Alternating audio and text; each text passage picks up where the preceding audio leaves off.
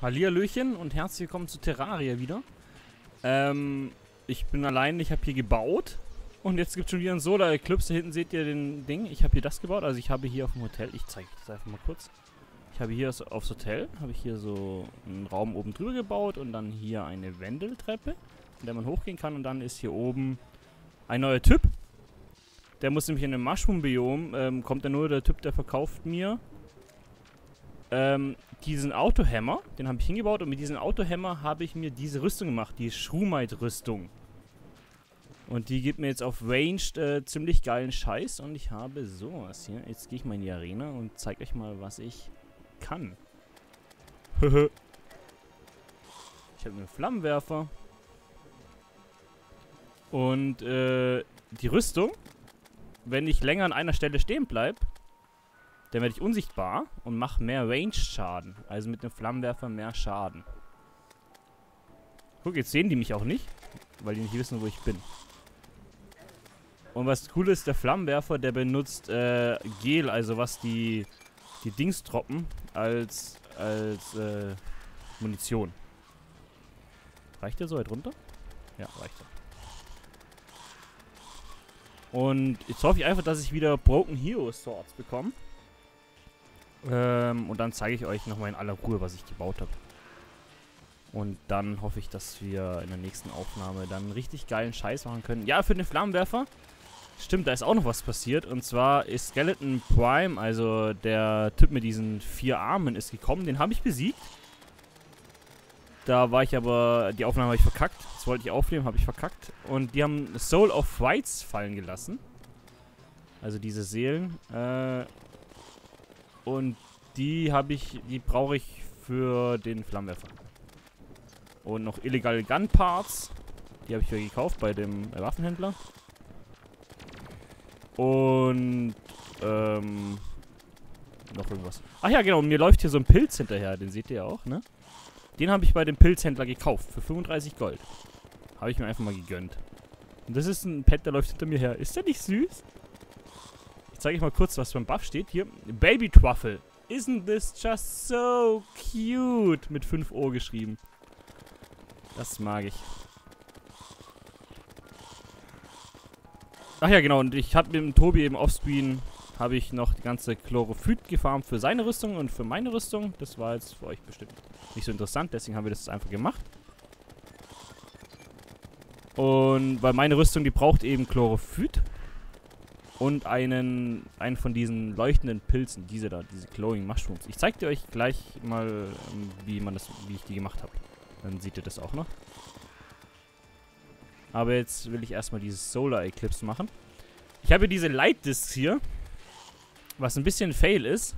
Die sind leider nur für die Nahkämpfer. Opala. Hier, Melee Damage machen die. Das heißt, äh, für mich bringt die gar nichts. Aber ich habe ja einen geilen Flammenwerfer. Dazu muss ich nur ganz viel äh, Ding kaputt machen. Wie heißen sie hier? Ihr wisst, was ich meine. Die, äh, die Flabber halt, die Bubbles. Und der Megashark, der verschießt ja ganz normal Bullets. Und ich mache mit meiner Rüstung generell äh, ziemlich viel Fernkampfschaden. Diese Vampire hier. Und zwar, ich zeige euch das mal kurz. Not moving puts you into stealth. Increasing ability and reducing chance, uh, chance for enemies to target you. Also die, die sehen mich jetzt auch gerade auch gar nicht. Und wenn ihr mal kurz seht, ich habe jetzt 35 Schaden. Wenn ich stehen bleibe. Ich mach, bleib mal stehen. Dann erhöht sich der Schaden auf 52. Das ist äh, nicht schlecht. Pro Schuss wohlgemerkt. Das ist echt nicht schlecht. Und der macht so noch mehr, der ähm, Flammenwerfer. Habe ich aber gerade eben erst gekauft. Also, gerade als ich ihn gekauft habe, ist eben dieses Event hier, Solar Eclipse, passiert. Ach genau, und was habe ich noch in der Ausrüstung? Das zeige ich euch auch noch kurz. Erstmal kurz einen Heiltrank trinken. Hier, das äh, Ranger Emblem. 15% mehr Schaden auf Ranged-Attacken. Das heißt, äh, ich mache jetzt ein bisschen Schaden, glaube ich.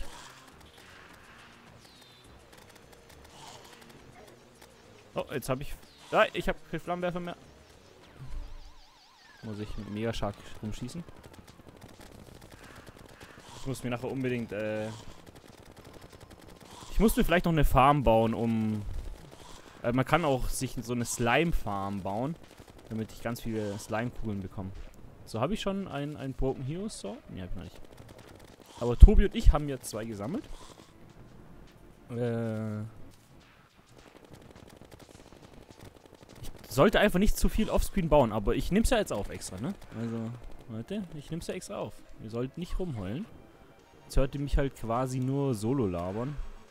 Nicht unbedingt das Beste, ich weiß, aber... Oh! Was hat er fallen lassen? Irgendwas... Wo sind das habe ich gerade eingesammelt? Broken Batwing! Jetzt kann ich mir andere Flügel machen, wenn ich denn will. Das ist wie mit der Harpienfeder. Damit haben wir unsere Flügel gemacht. Wir haben ja alle Harpienflügel. Kann ich mir jetzt damit Flügel machen.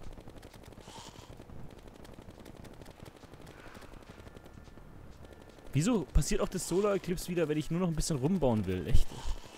Ich verstehe es. Ansonsten, ihr könnt ja auch mal in die Kommentare schreiben, ob ich das Bauen eben äh, nicht offscreen machen sollte, sondern onscreen, also mit euch. Aber es ist nicht ganz so interessantes Bauen. Also ich setze halt die Dinger aneinander, merke, dass es scheiße aussieht und setze sie wieder anders aneinander. So sieht mein Bauen aus.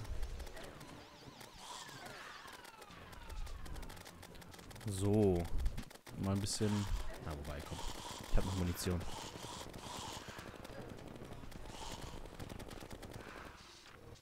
Mal wieder einen Heiltrank trinken.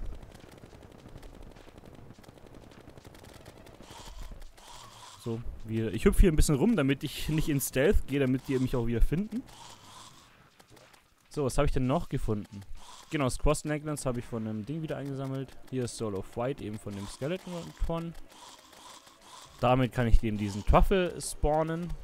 Der Händler heißt auch Truffle. Und das ist eben der Baby Truffle. Oh, da schießt jemand. Uncool. Ich kann auch schießen. Na, wie schmeckt dir das? Kollege. Es, es grenzt ein bisschen an Massenvernichtung jetzt mit der Rüstung, die ich habe. Die ist echt äh, ziemlich nice.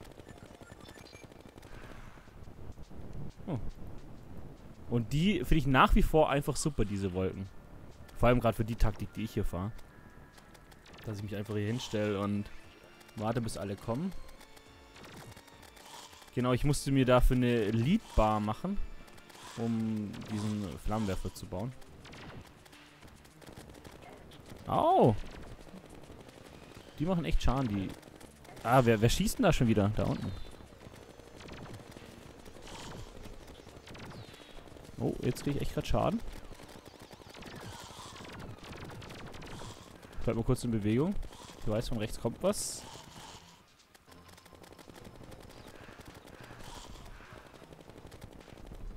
Okay. Danach muss ich mir erstmal neue Munition kaufen. Und ja, nach so einem Solar Eclipse geht's, äh, also bei so einem Solar Eclipse geht's ab. Ihr seht auch hier, wie der Mond immer äh, lang äh, wandert. So, mal kurz ein bisschen Leben einsammeln. Und dann bin ich kurz gewillt, zurückzuporten, um... Ja, ich mach das kurz. Ich habe nämlich hier noch einen vollen Stack von Slimies. Wartet. Hier, genau. Von Gel. Und jetzt kann ich hier wieder feuern. Die macht 39 äh, Schaden, die Waffe. Plus 11% Damage hat sie und plus 10% Speed. Nicht schlecht. So. Monster, ich bin wieder da. Können wir loslegen. Hier, kommt her.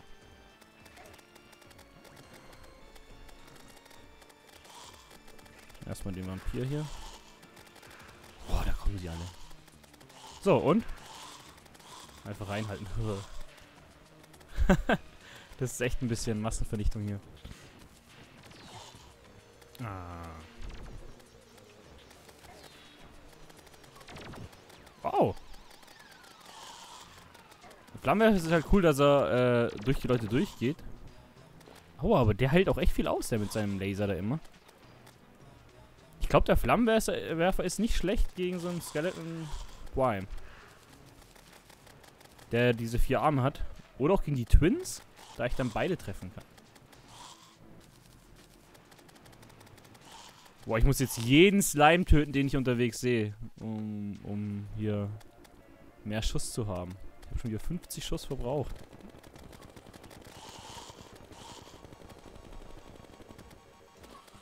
Oh, der schießt halt einfach doch mit der Minigun rum.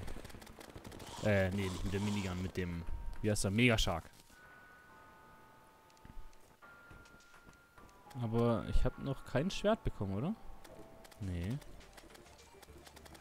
Hm, Solar Eclipse ist bald vorbei.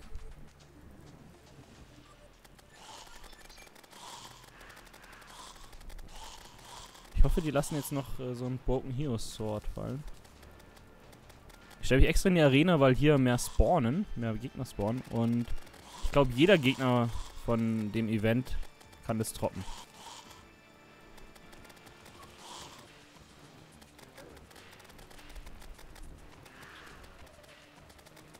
Ich muss die schneller töten, dann spawnen die schneller wieder nach.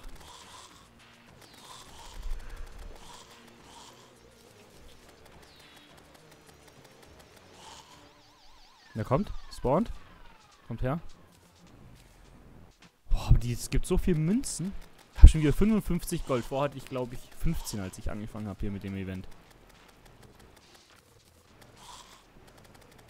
Jetzt, wenn die nur so ein Schwert fallen lassen, das wäre richtig nice, weil das ist eigentlich das, was man braucht von diesem Event.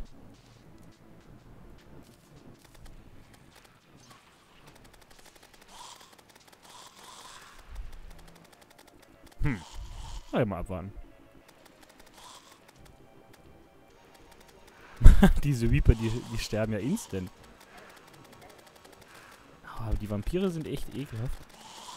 Genau, dieses Swarm-Thing hier und die Frankensteins, die können die, glaube ich, trocken. Bei den Vampiren bin ich mir nicht sicher und bei diesen Reapern auch nicht. Aber bei den anderen beiden bin ich mir ziemlich sicher. Das habe ich so im Wiki gelesen. Ah, ich habe nur einen Banner bekommen. Was ich denn mit den ganzen Banners hier?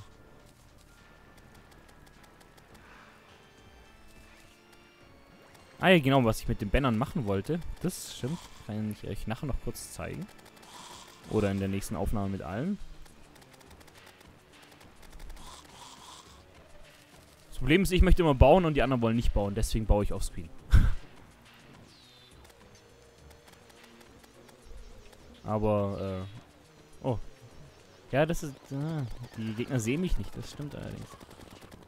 Aber das ist cool dann nachher, wenn wir im Multiplayer sind, dass die Gegner mich dann einfach nicht sehen. Ich stelle mich einfach irgendwo hin und schieße nur rum. Ich meine, sie sehen mich ja... Ja, sie haben eine gewisse Chance, dass sie mich nicht sehen. Oh, nur noch 160 Schuss. Oh, oh, so ein Lasertyp hier.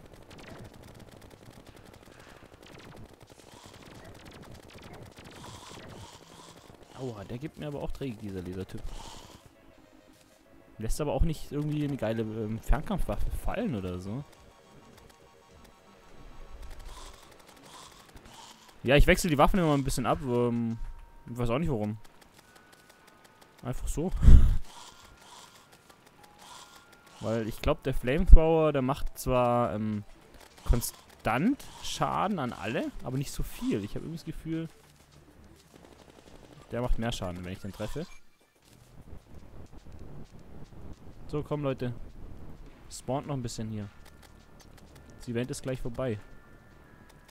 Soll ich mal in den Nahkampf gehen, Leute? Ich zeige mal, wie ich hier im Nahkampf scheiße bin jetzt. Meine Rüstung. Oh je, ich sterb.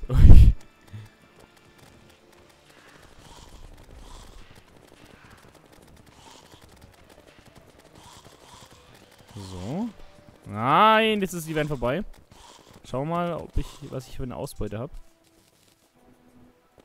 Broken Batwing nochmal. Jetzt könnten sich zwei ähm, solche anderen Flügel machen. Hm.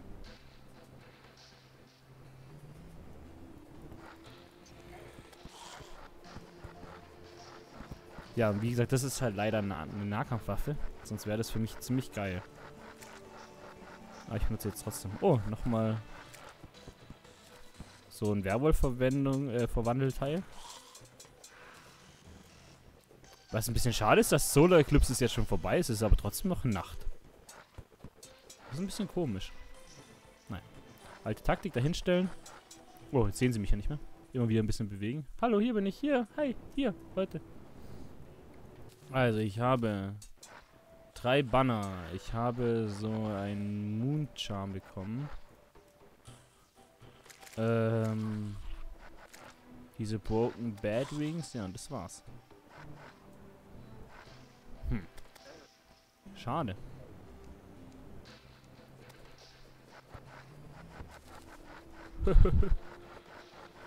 okay, ich mach die noch kurz kaputt und dann zeige ich euch noch, was ich gebaut habe.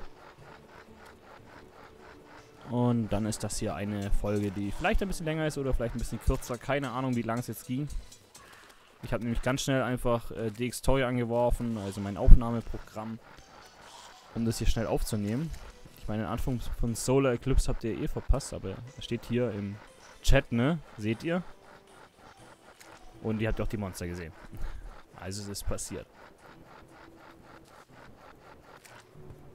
Das Gute ist halt, ich verbrauche mit diesen Diskus hier, mit diesen, verbrauche ich halt keine Munition. Deswegen benutze ich die jetzt hier für die einfachen Gegner. Wenn ich Ewigkeiten brauche. Oh, ich brauche echt Ewigkeiten.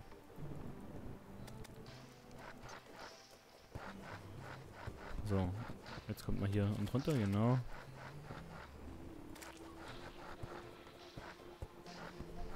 Aber man kann sich damit die Gegner ganz gut vom Leib halten. Ach komm, scheiß drauf. Hier.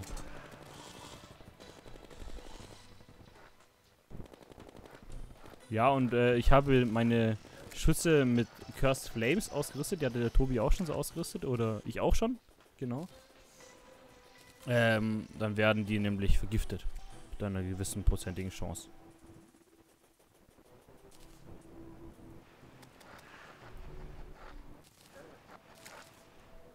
Oh, nochmal ein Lucky Moon Charm. Oh mein Gott. Ja, davon haben wir jetzt schon ein paar.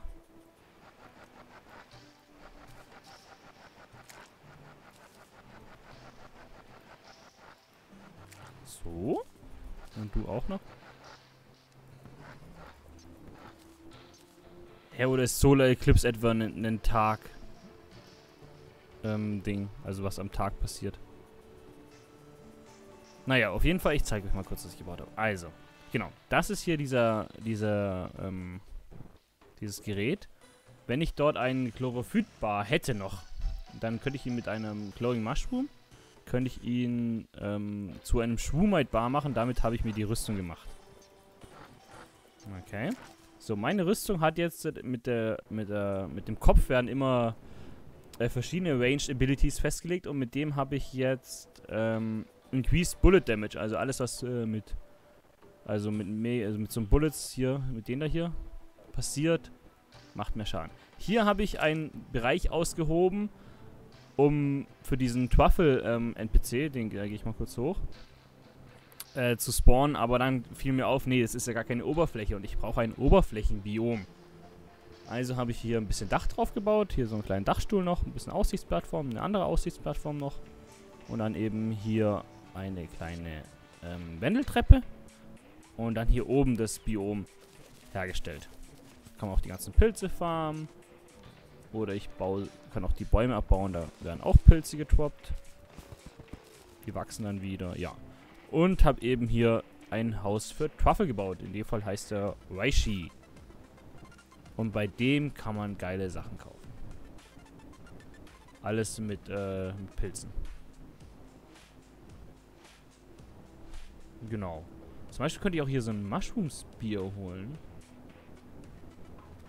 Und äh, hier, der kostet ein Platin-Münze. Aber habe ich bezahlt. War kein Stress. Genau, und das ist das, was ich hier gebaut habe. Und sonst... Ja, das andere habe ich ja schon gezeigt mit dem Tobi, aber ich zeige das jetzt trotzdem nochmal kurz.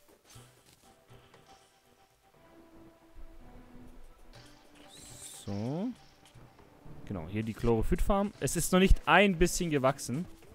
Also entweder dauert es Ewigkeiten. Oder ich weiß auch nicht. Oh, da ist ein... Ich muss mal kurz hier das Gras so ein bisschen entfernen. Da ist ein Moonclow entstanden. Die haben wir nämlich alle ver verbraucht, Tobi und ich, um äh, Spelunker-Tränke zu machen. Haben wir jetzt keine solche Moonclows mehr. Beziehungsweise den einen haben wir jetzt. Oh, na, was machst du hier, Kollege? So, und dann hole ich mir hier noch Blinkwoods. Damit ihr auch mal sieht, wie man hier ähm, farmt. Wo sind jetzt die Blinkwood Seeds? Oder ihr seht es auch nicht. Haben die nur Blinkwoods gedroppt?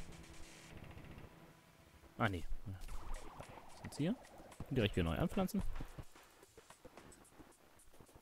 Gut, dann war es eigentlich, was ich euch zeigen wollte. Und dann sehen wir uns einfach in der nächsten Aufnahme wieder mit allen gemeinsam. Außer es passiert mir jetzt noch irgendwas beim Bauen, weil ich glaube, ich möchte jetzt hier noch doch noch diese Farm reinbauen, vielleicht für, ähm, für Gel. Aber das muss ich mir noch überlegen, wie ich das mache. Macht's gut, bis dann. Ciao, ciao.